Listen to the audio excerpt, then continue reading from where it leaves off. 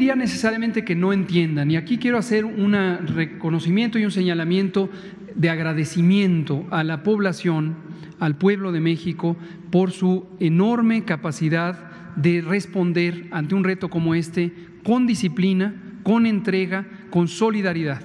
No olvidemos, esto lo hemos dicho también desde el principio, México es un país que tiene condiciones sociales y económicas adversas. Es un país donde la mitad de la población vive en condiciones de pobreza.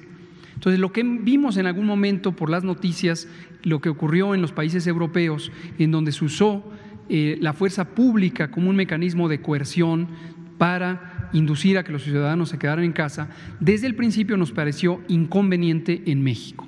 Lo hemos dicho, lo seguimos diciendo, aún en este momento de mayor transmisión, no tenemos plan alguno de militarizar la respuesta de salud pública. No se va a implantar toques de queda, estados de excepción, ni se va a usar la fuerza pública como mecanismo de coerción.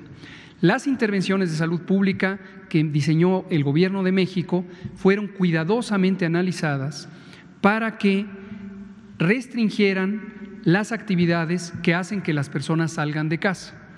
Una persona en general puede salir por muchas razones de la casa, pero hay tres que son las principales.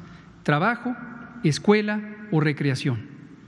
Entonces, al prohibir o restringir o eh, suspender por un acto de ley temporalmente estas actividades, logramos una enorme desmovilización fuera del espacio público.